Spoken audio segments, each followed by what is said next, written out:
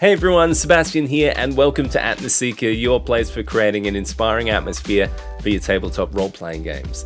In today's episode, we're going to be looking at streamlining a lot of the lighting control that you might have from a lot of different remotes or smartphone apps and controllers into one little tool to have behind the DM screen to take up less real estate and make it a little easier.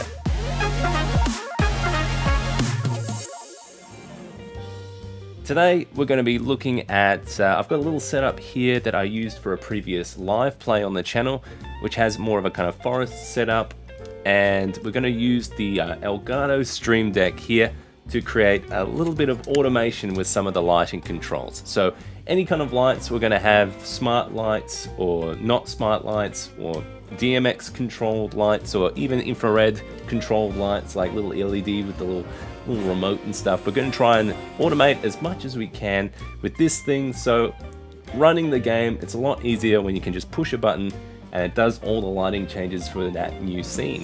If you don't know what a Stream Deck is, it's basically a physical customizable keypad that allows you to control almost anything on a connected computer. Uh, this can range from playing music, controlling smart devices, in this case for controlling lights. And one reason I love using it for D&D or wargaming is you can get that bulky laptop off the game table and just have the keypad on the table taking up very little space. At the heart of this setup, we're going to be making use of multi-actions, which is basically a list of commands that'll activate when a button is pressed. The first lighting commands to look at are for some smart lighting as these days it's pretty common to have some smart bulbs or fixtures in the house and usually to control the colors you need to fiddle around with a smartphone app, but so we can focus on the game, we can pop some easy commands into the Stream Deck to change the environments when we need. For the easiest setup, it's always good to check out the plugin store on the Stream Deck to see if your brand of lights are available. Some bigger brands like Nanoleaf or Hue have dedicated Stream Deck plugins. I have some Philips Hue lights, so I'll be adding that plugin. Now that it's there, you can see it has a bunch of functions we can choose from.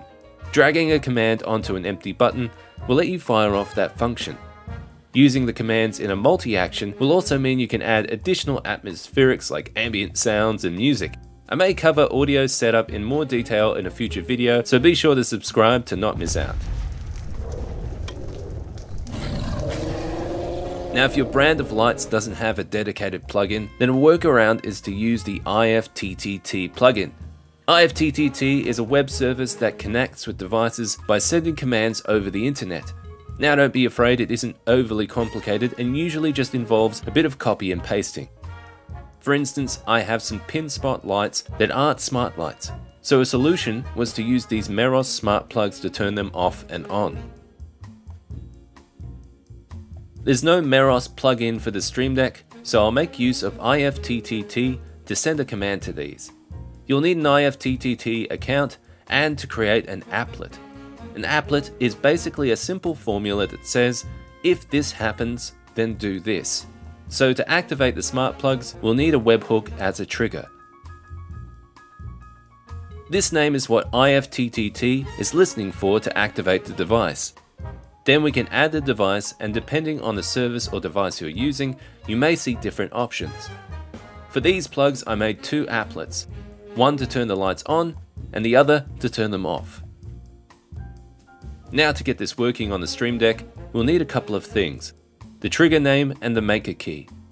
The maker key is a private, unique name that can be found in the webhook service settings. Just copy the last part of the URL and paste it into the Stream Deck here. For these lights I wanted to be able to toggle them off and on, so back in the Stream Deck app, I'll use a multi-action switch which is two states that a button can switch between. On each state I've placed each IFTTT command, and now when the button is toggled, the lights turn off and on. A couple of drawbacks of using smart devices and lighting is that it usually requires a hub or some kind of network connection to communicate, and for traveling atmos seekers, this isn't ideal, but it can work great in a home style setup. Animated lighting effects can also be a little bit harder to control, but that's where I lean a little bit more on DMX lighting to create some spectacular light shows for tabletop gaming. DMX is professional stage lighting that gives a higher level of control with the type of lighting effects you can create. And there's a huge variety of fixtures with different functions to choose from. To control DMX lighting with the Stream Deck, you'll first need to have your DMX lighting fixtures controllable from your PC. You can see how to set this up in my ultimate DMX lighting video, which is a great place to start with DMX lighting. Essentially, the DMX lights are controlled from the computer with a special USB adapter and some software called QLC. Since there's no DMX lighting control plugin, the plan is we're aiming to fire off some functions in QLC Plus by simulating some keyboard commands. We'll need to install the Focus Window plugin from the Elgato store. First, we'll create a multi-action on a button. Then add a Focus Window command as the first action. This is going to make the QLC Plus window active. For the next step to work, we'll have to make sure we first have a couple of things set in QLC Plus. On the Virtual Console tab, this is an area where you can create virtual buttons for activating functions. Functions can do a variety of things, but for this instance, we're going to create a few buttons to activate some lighting scenes. The first button we'll need to create is a Reset Lighting button. The reason being you can activate multiple scenes at the same time in QLC, so this will make sure things will reset before activating a new scene. For the On button press properties, set it to stop all functions. We'll also need to add a hotkey to activate the button. I've set mine to 0 in the key combination field. Now we'll make two more buttons, but instead of stopping all functions, we'll have these activate some lighting scenes. The important stuff here is setting the function you want to activate, what key combinations are needed to activate the function, and also making sure the on button press is set to toggle function on and off. When that's all done, the Virtual Console will need to be made active by switching to operation mode. This activates the console to now listen for those keyboard shortcuts. Now that QLC Plus is all ready to go, let's switch back to the Elgato Stream Deck app and finish off this multi-action. After our focus window action, we're going to simulate a couple of button presses. Drag over the hotkey command into the multi-action list a couple of times. The first one we're going to name Reset Lighting Scene and set its hotkey to 0. The second one will be named Activate Lighting Scene, and we'll set its hotkey to 1. So now what this button will do on the Stream Deck is focus the QLC Plus window, then simulate those button presses in quick succession. As an option, if you're using your laptop to view game notes, you can add another focus window action to switch back to your game notes. In addition to the smart lights and DMX lights, I sometimes use some of these cheaper lights here that are controlled by little remotes. Personally, I like using the remote activated ones while I'm on the road, but here in the dungeon, I've been experimenting to try and get these controlled all by the Stream Deck.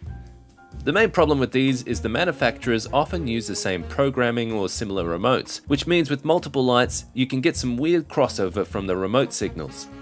That said, there are a couple of workarounds that I've done to get these controlling from the Stream Deck in my home setup. The simplest is to use some smart plugs like we did earlier in the video, but to take advantage of the colors and functions on these lights, I've started using one of these little Broadlink IR blasters. They're set up like a smart device with the ability to record the IR signals from the remotes. Once you add what lights you'd like to control and record functions from the remote into the device, I found the easiest way to control colors or functions is by making some scenes in the Broadlink app. These scenes can be triggered by following what we did previously with IFTTT actions. You just need to use Broadlink as the controlled service. Then just pop the applet name in an IFTTT action in the Stream Deck and you can start triggering those lights. These IR blasters require line of sight, so if you're worried about signal crossover, placing these strategically can help limit this. It gets the job done, but if you have any other ideas, I'd love to hear them in the comments. With all our lights able to be controlled from the Stream Deck, now comes the fun part in setting up all the buttons you need to run some immersive lighting effects at the game table. I found that this is a library of effects that'll build over each session you prep for. And with multi-actions, you can really get creative with combinations of lighting systems while simplifying it all to single button presses so you can focus on enjoying the game.